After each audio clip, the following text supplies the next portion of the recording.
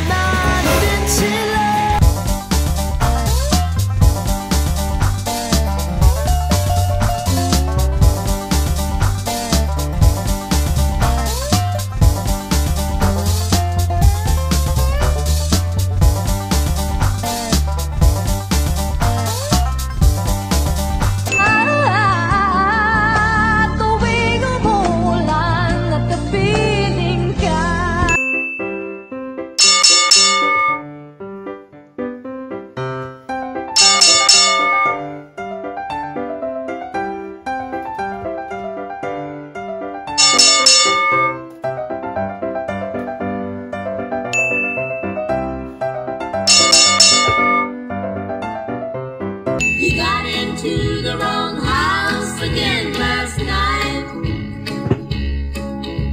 It surely did